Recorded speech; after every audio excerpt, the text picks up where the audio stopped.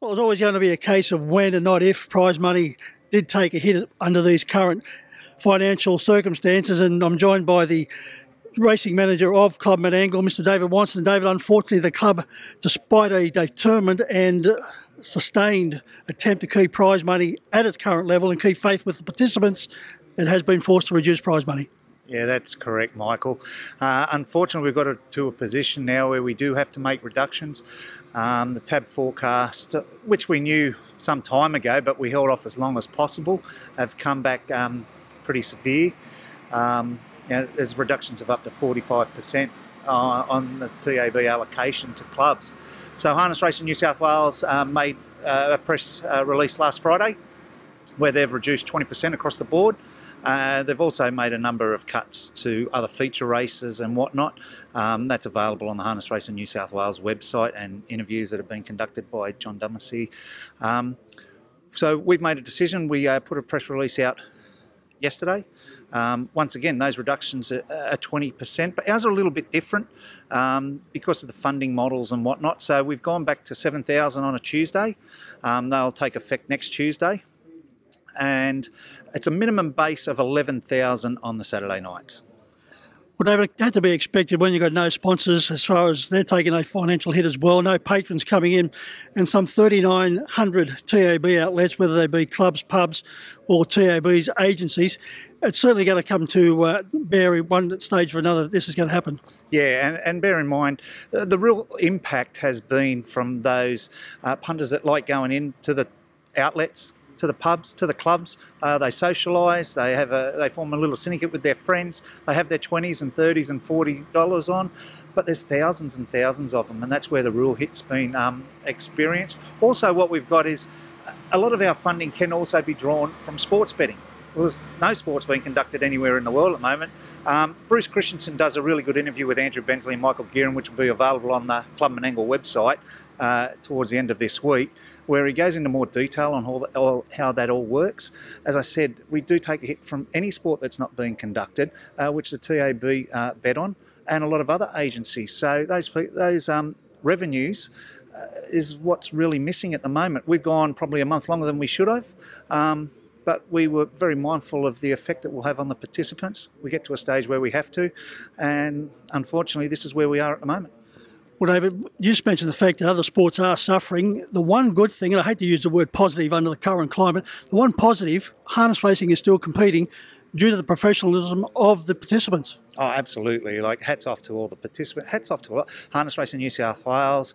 Um, all the protocols put in place to make sure that we do race and, and the meetings they had with government bodies. Um, the participants have really um, supported it and doing the right thing, even to the track guys here. Like, we race now here at Menangle because we've absorbed a few extra race meetings with the regionalisation. Um, at no extra cost, we've still been able to conduct an extra two, sometimes three meetings a week, um, just through the hard work of all the track staff we've got here, led by uh, James Chang and Owen Mulligan. Well, Dave, it's not going to be an easy fix and it's not going to be a quick fix but sometime down the track, the clubs will be, including the governing body, Harness Racing New South Wales, they will be keen to try and get those prize money levels back up. Oh, as soon as those extra dollars start flowing through, and that's opening up of sports betting and the whole the whole lot that goes with that. Um, as soon as those extra funds come through, you can be rest assured that it'll go straight back to the participants. You know what we've also got, which is really important. We still do have the thirty thousand dollar feature event each and every Saturday night. Um, that'll be shared around a lot more in, in the coming months while regionalisation is taking effect. So it'll be shared amongst restricted horses. The $30,000 race will be shared amongst the mares. Uh, it'll be shared amongst the the open class paces, and there'll also be a bi-monthly trotters race for $30,000. So, um, you know, people have always asked, you know, what's the value of the $30,000 race? Well, I can tell you, it's worth over half a million dollars in extra revenue on the percentage increase in turnover that we do get from having a $30,000 race. Um, that can't be lost on the industry.